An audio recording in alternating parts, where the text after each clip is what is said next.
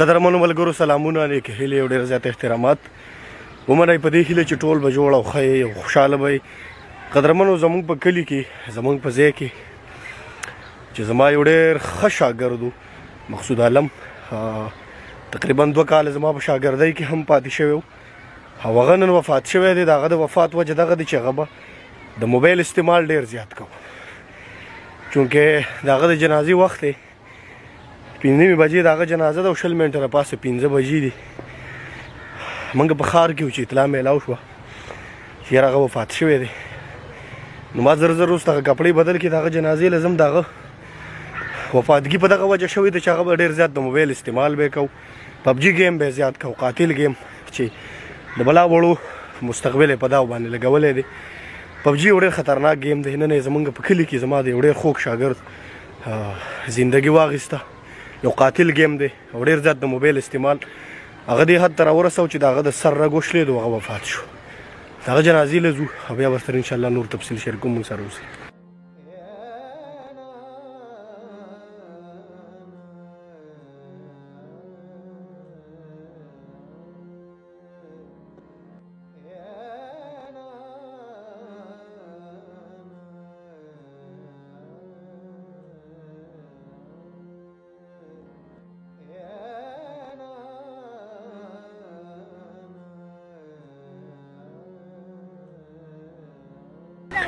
قدرمنو ملګرو جنازه منګه وکړه او دا خبره هم زمونږ ذهن ته رااله په اورېدو کې دا خبره هم رااله چې دا مقصود چې کوم وو نو دا د مور او پلار چې کوم دی یو زوی او مشر زوی وو د موبایل ډیر زیات استعمال پبجي هغه د سر رګ چې کم دی هغه وشلو او هغه تور خاور ته غلاړو ټوله علاقه په خپه ده مونږ په هم د زړه نه خپه یو هغه چې په کوم سکول کې سبق ویلو په اقرا اسلامیک ایجوکیشن سیستم خراسان کیمپ کې د داغه ادارې ایم ډي سي مونږ سره دی داغه نه پښتنه کو چې دا څه قصه وا او خلکو ته څه پیغام لري جی سیراج صاحب بسم الله الرحمن الرحیم یقینا مرګرو همداسې واقعیا ده د با د موبایل استعمال ډیر زیات کو او بلکې زمونږ رشتہ دار هم او زمونږ په سکول کې سټوډنټ هم پاتې شوی او ډیر قابل هم او ډیر دغه مو او بل د مور پلار نیازبونو نو د موبایل استعمال به ډېر زیات کوو هغې سره د ده د چې کوم دی د حافظه د سر رګ چې کوم دی د ده سره تقریبا د شپې څلور بجې وي او دغه ټایم کې شپې څلور بجو پورې لګیا و دا ګیم بیم به کوو دا پبجي ګیم چې کوم دی